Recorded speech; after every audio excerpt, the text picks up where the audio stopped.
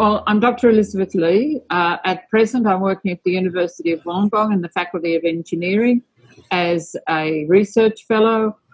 With regard to this case study, I was previously a senior lecturer at UTS uh, in uh, what was then the Faculty of Education and is now Faculty of Arts and Social Sciences, mainly teaching in, in degree programs for adult educators. In the regard to simulations, the I taught a subject uh, to both undergraduate and postgraduate, and I think it was generally called an introduction to design and use of simulations in education.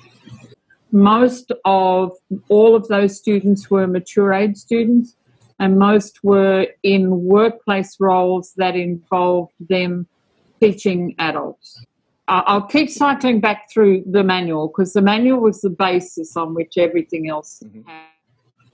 So the manual structures the classroom as an organisation, a learning organisation.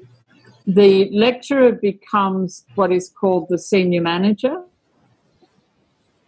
and then the students were, uh, by choice, their own choice, arranged into four departments, and the four departments uh, represented the four stages in an action learning cycle. So, um, doing, observing, analysing, uh, and implementing, if you like. So, they, they self selected into four departments.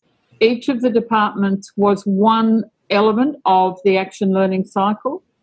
Mm-hmm. And then within that, they had uh, task groups that all related back to the element that they were taking responsibility for. And those responsibilities always involved interconnecting with other departments. So it was very much a, uh, a complex organisation, uh, a bit of a matrix organisation, um, and um, one that was very different to any formal classroom. So one of the big issues I didn't well I did have problems with with peers, academic peers, but the big problems were always with the students making a shift from standard being taught to what expert XB required was then to become their own experts. The assessment was in three parts.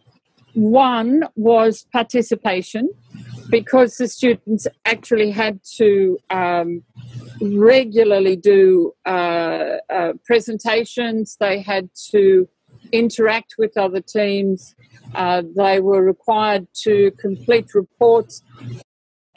Most students came through it with them with absolutely extraordinary insights into how organisations work, how they work in organisations, what kinds of behaviours they were seeing in the room around them, what kinds of emotions they were experiencing.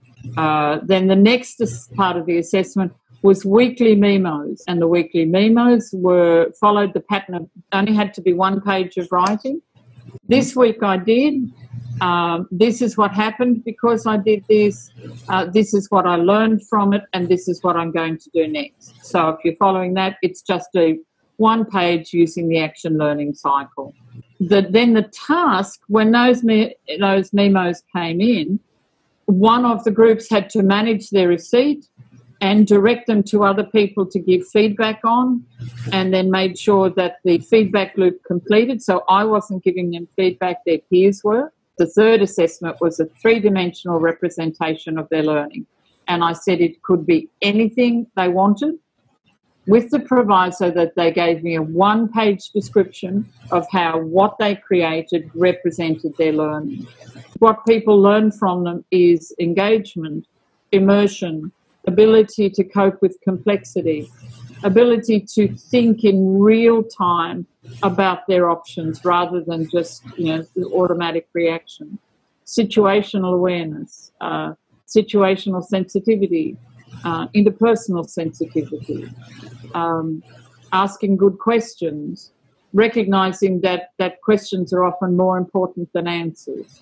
All for me, all of simulation does all of those things in ways that lectures or group discussion lectures don't do that much at all.